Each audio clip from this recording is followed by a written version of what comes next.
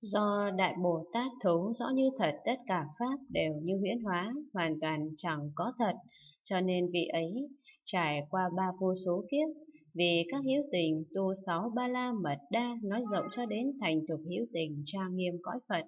và chứng đắc quả vị vô thượng chánh đẳng Bồ Đà. Bấy giờ cụ thọ thiện hiện lại bạch Phật.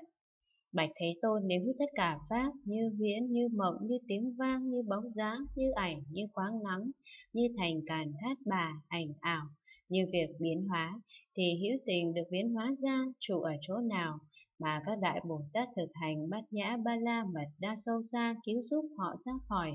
Phật bảo thiện hiện,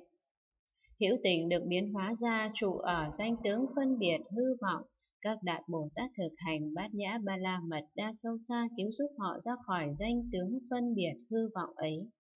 Cụ thọ thiện hiện đại bạch Phật, những gì là danh, những gì là tướng. Phật bảo thiện hiện, danh chỉ là khách, chỉ là nghĩa được hiển bày ra một cách giả tạo, nghĩa là đây gọi là sắc thọ tưởng hành thức, đây là nhãn xứ cho đến ý xứ, đây là sắc xứ cho đến pháp xứ, đây là nhãn giới cho đến ý giới, đây là sắc giới cho đến pháp giới, đây là nhãn thức giới cho đến ý thức giới. Đây gọi là nam, đây gọi là nữ, đây gọi là nhỏ, đây gọi là lớn. Đây là địa ngục, đây là bàng xanh, đây là cõi quỷ, đây là người, đây là trời, đây là pháp thiện, đây là pháp ác, đây là pháp hữu ký, đây là pháp vô ký, đây là pháp hữu lậu, đây là pháp vô lậu, đây là pháp thế gian, đây là pháp xuất thế gian, đây là pháp hữu vi, đây là pháp vô vi, đây là quả dự lưu, đây là quả nhất lai, đây là quả bất hoàn, đây là quả A-la-hán.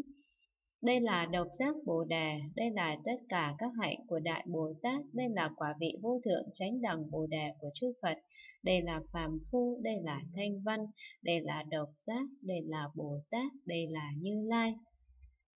Thiện hiện tất cả tên gọi như thế là biểu hiện của các nghĩa chỉ là giả tạo nên tất cả danh đều chẳng thật có. Các pháp hữu vi cũng chỉ có danh, do đó vô vi cũng chẳng có thật phàm phu ngu si vọng chấp ở trong đó. Các đại Bồ Tát thực hành bát nhã ba la mật đa sâu xa với bi nguyện huân tập trong tâm, dùng phương tiện thiện xảo giáo hóa giúp xa lìa vọng chấp đó bằng cách dạy. Danh là do vọng tưởng phân biệt phát sanh, cũng là do các duyên hòa hợp giả lập ra, các ông không nên chấp trước ở trong đó.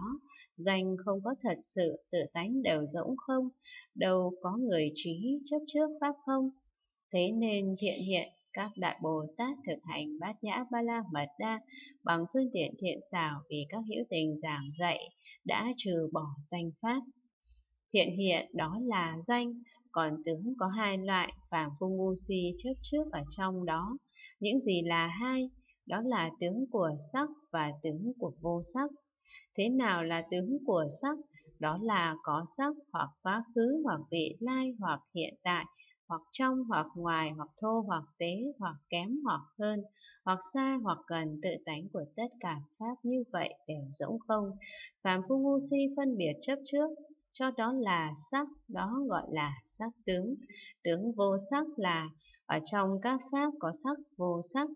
Phạm phu ngu si chấp tướng phân biệt sanh các phiền não gọi là tướng vô sắc. Các đại Bồ Tát thực hành bát nhã ba la mật đa sâu xa bằng phương tiện thiện xảo, dạy các hữu tình xa lìa hai tướng, lại dạy họ an trụ vào cảnh giới vô tướng. Tuy dạy họ trụ vào cảnh giới vô tướng nhưng không làm cho họ rơi vào kiến chấp hai bên, cho rằng đây là tướng, đây là vô tướng.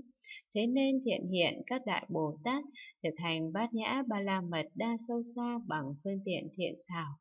giúp các hữu tình xa lìa các tướng, thực hành cảnh giới vô tướng mà không chấp trước. Cụ thọ thiện hiện lại bạch Phật,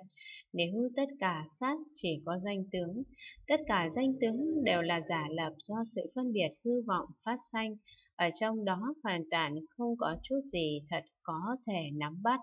thì lúc thực hành bát nhã ba la mật đa sâu xa, vì sao đối với các thiện pháp Đại Bồ Tát có thể tăng tiến, cũng có thể giúp người khác tăng tiến thiện pháp, do các thiện pháp tuần tự tăng tiến, nên vị ấy có thể tuần tự làm viên mãn các địa,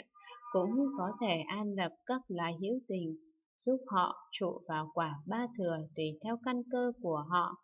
Phật bảo thiện hiện nếu trong các pháp có chút ít thật sự, chẳng phải chỉ giả lập ra có danh tướng thì lúc thực hành bát nhã ba la mật đa sâu xa, các đại Bồ Tát phải không tăng tiến đối với thiện pháp, cũng không giúp người khác tăng tiến thiện pháp, dù trong các pháp không có chút gì thật sự, chỉ có các danh tướng giả lập cho nên lúc thực hành bát nhã ba la mật đa sâu xa, Đại Bồ Tát có thể tự tăng tiến đối với thiện pháp, cũng có thể giúp người khác tăng thêm thiện ích,